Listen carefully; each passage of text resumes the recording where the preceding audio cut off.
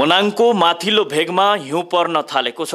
बिहिबार साँझपख हिमालको क्षेत्र हुँदै बस्तीसम्म हिउँ परेको स्थानीयले बताएका छन्। माथिल्लो मनाङको थ्रोङ्ला फेदी या खर्क हुँदै मनाङ गाउँसम्म हिउँ परेको थियो। पर्यटन व्यवसायी समिति मनाङका अध्यक्ष विनोद गुरुङका अनुसार तल्लो बस्ती क्षेत्रमा भने केही छिन हिउँ परेको र सुकेको बताउनु भयो। हिउँ परेपछि हिउँले चिसो बढाएको छ। बिहिबार तिन हजार पाँच सय मिटर उचाइसहित माथिल्ला क्षेत्रमा हिउँ परेको हो। हिउँले डाँडाकाँडाहरू ढाकिएका छन्। बस्तीमा भने छिटफुट मात्रामा हिउँ परेको थियो। मनाङका प्रमुख जिल्ला अधिकारी पुष्पराज पौडेलका अनुसार मनाङको माथिल्लो क्षेत्रमा हिउँ पर्न थालेपछि तल्लो क्षेत्रमा जाडो अत्याधिक बढेको छ। यतिको हिउँमा मानिस हिँड्न मिल्ने भएकाले माथिल्लो क्षेत्रमा भने पर्यटक गइरहेका छन्। हिउँ पर्न थालेपछि पर्यटकहरू खुसी भएको स्थानीयले बताएका छन्।